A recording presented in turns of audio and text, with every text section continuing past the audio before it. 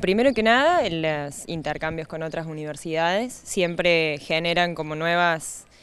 nuevos proyectos, nuevas cosas para poder dinamizar adentro de la, de la Uni de Río Cuarto, siempre pensando en que nosotros tenemos como muchos desafíos para adelante más allá del camino que, hemos recorrido, de seguir articulando con organizaciones, con sindicatos, con empresas que también podamos estar sumando, que generen espacios de trabajo para nuestros talleres, eh, sobre todo en la, en la parte de los oficios, y ver cómo están desde las otras universidades trabajando esta cuestión de la vinculación con las instituciones nos enriquece y nos da otros puntos de, vista y otros puntos de partida también para trabajar. Bien, ¿y eso después cómo se puede canalizar en términos prácticos, con experiencias o de qué manera? Bueno, nosotros tenemos como, eh, siempre decimos que somos ladrones de guante blanco con algunas cosas, porque la Unibarrial nace en realidad de, ver otros proyectos eh, en otras universidades, eh, entonces bueno, ver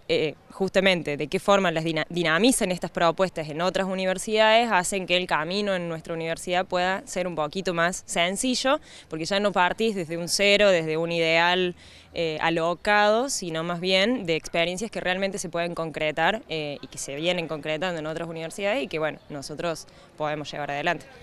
En una de las conferencias se dijo que la universidad no baja al territorio, sino que es parte del territorio, ¿no? Esto uno lo puede pensar, de hecho, en lo que es la Unibarrial.